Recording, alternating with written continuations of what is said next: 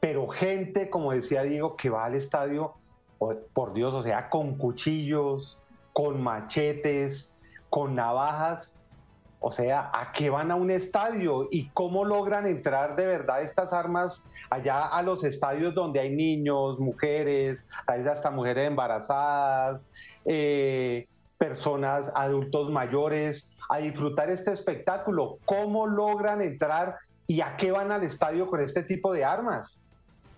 No, precisamente, yo creo que algo no está funcionando y no funcionó obviamente en el día de ayer eh, y definitivamente hay que aprender de, estos hechos para que no se repitan, para que podamos tener un esquema en donde haya algún control y algún tipo de requisa, ¿sí? Para que esto no se dé, ¿sí? en muchos estadios del mundo hay detector de metales, entonces no sé si la solución sea un detector de metales, no, no sé exactamente cuál sea la solución, pero esa solución definitivamente hay que trabajarla con las autoridades. Pero hay que hacer algo. En eso ah. coincidimos y en eso lo veo. Hay que hacer algo y ya, hay que hacer algo. Sí, pero no puede ser que, como usted lo dice, eh, eh, eh, veamos una cantidad de personas armadas en un estadio. Eso es, eso, eso es inaceptable desde cualquier punto de vista. Doctor Jaramillo, con la registraduría y junto con la policía se está implementando algo de la biometría. ¿Se podría ampliar? Creo que en la final pasada se hizo uso de este mecanismo. ¿Eso se podría hacer en todos los estadios para poder identificar a quiénes son las personas que ingresan? Sí, se, puede hacer y la tecnología ha avanzado muchísimo en el tema de biometría, se pueden identificar fácilmente las personas, se pueden identificar en qué parte de los estadios están. Lo que pasa es que hay que hacer una inversión importante y acá siempre está la discusión si los estadios son obviamente de las autoridades locales, entonces el club paga un arriendo y en ese arriendo tiene que estar todo el sistema de seguridad incluido, pero entonces el club es el que debe hacer la inversión. Eh, eh, hay una cantidad de discusiones que nos llevan a situaciones como esta que al final pues no hay, no hay la solución correcta, porque pues siguen pasando estos hechos.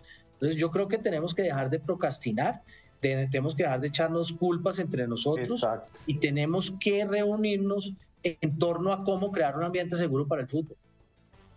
Mm, no me quiero imaginar eh, las reuniones y su, teléfono desde anoche.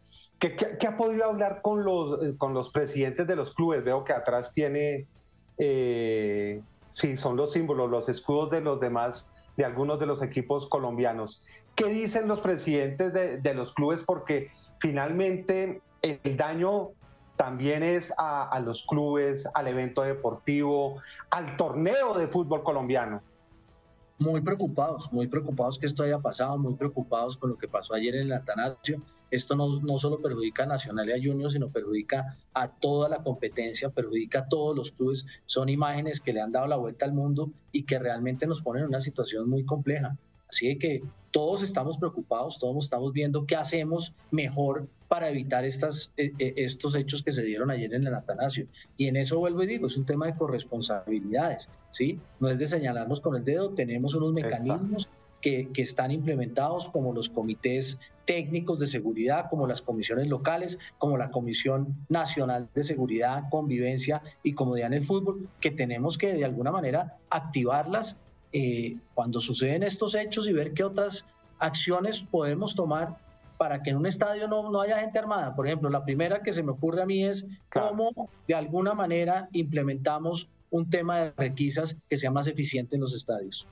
Eso sí se debería hacer. Y en ese sentido también eh, eh, pues un llamado a los alcaldes eh, del país. Es entendible, y usted lo sabe, doctor Jaramillo, muchos dicen que pues no pueden destinar a toda la fuerza policial para los eventos deportivos, pero hay muchas cosas que se pueden hacer y como usted muy bien lo menciona, si los escenarios deportivos son de las alcaldías, pues también hay que meterse la mano al DRIN. Esto es un asunto compartido.